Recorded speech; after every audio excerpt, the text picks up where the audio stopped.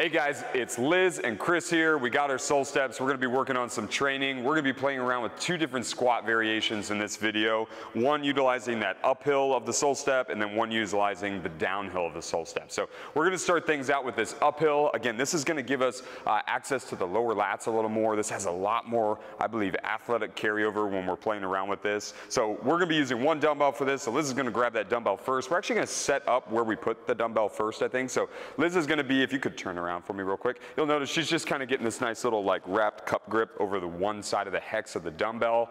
Uh, some people like to use kettlebells for this as well. Sometimes that ball feels a little more comfortable, but we're gonna stick with dumbbells here. So let's turn around.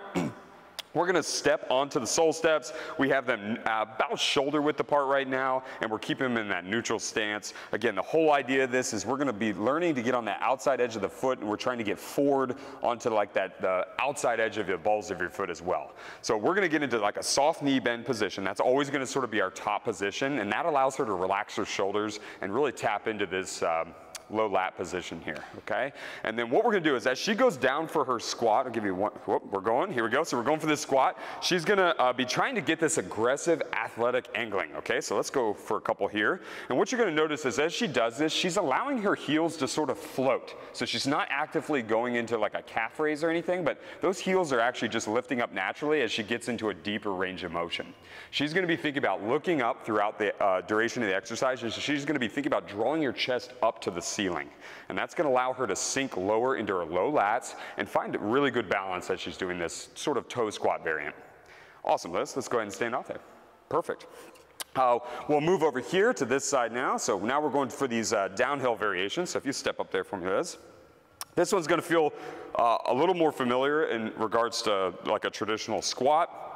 Uh, so this uh, variation of a goblet squat, so we're gonna be still using just that one side of the dumbbell where we're holding the hex head like so. This one allows her to really fan her shoulders a little bit, so the shoulders can actually come forward, which is a little different maybe than you're familiar with. People are always talking about drawing back, and this one we're gonna allow them to come forward, very much like we're holding like a, like a a bag or a ball, we're gonna allow the pelvis just to tuck under slightly so you can feel a little bit of that glute contraction at the top. And then the knees can come up to a, not a full lockout, we don't need to lock your knees, but they can definitely be up higher than they were on this one in the top position, all right? We're gonna turn those toes in slightly, so I wanna be thinking about a little bit of this pigeon toeing, all right? And that's gonna really encourage all that weight to shift forward, but we can still feel comfortable in that rest sort of on the backside of the heel.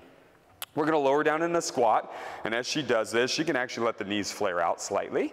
Boom, so knees can flare, and she can really get a really nice deep squat here. She can maintain sort of this tucked under pelvis a little bit at the bottom, and she's gonna be really trying to draw all of the work or energy uh, with the shoulder down into her obliques and her abdomen a little more, all right?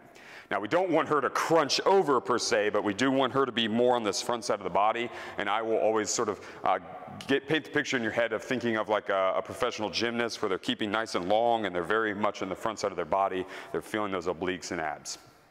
Awesome, Liz. Go ahead and come out.